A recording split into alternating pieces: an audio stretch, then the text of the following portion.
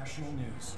Since the young man suspected to be the leader of the Phantom Thieves died while in custody, the police have officially announced that these crimes have come to an end and assure everyone that the peace will be restored in the. Yo, what is up, everybody? We are the ones who you all know as the Phantom Thieves. And all of us are alive and kicking. But those shitty guys in power, they've been manipulating information to try and hide the truth. What is this? Where's it coming from? I don't know. We can't switch it out. Seems we aren't the only ones affected either. So, before we appropriate our next target, we would like to first borrow your time. The recent scandals of public figures, the What if that's just an by event? psychotic breakdowns and mental shutdowns, these weren't caused by unknown reasons. One man is behind every single instance, simply to satiate his own greed. Is this for real? That man was afraid his crimes would be exposed and shifted the blame on us. He even manipulated the police for that. We only steal the hearts of criminals.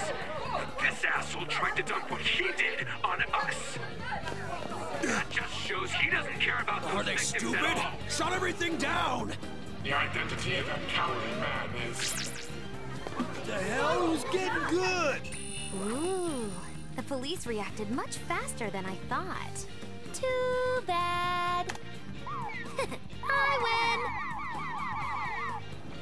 win! The man behind it all is a current cabinet member of all things. The Minister of State for Special Missions, Masayoshi Shido.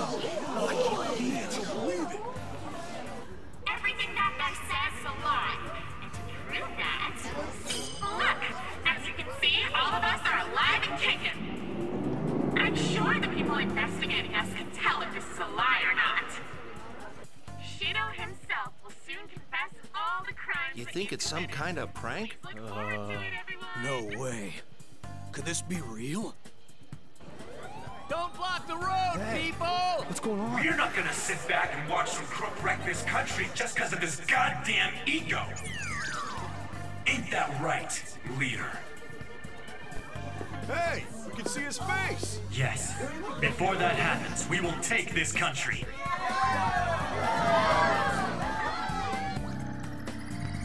Hello? Yes, yes.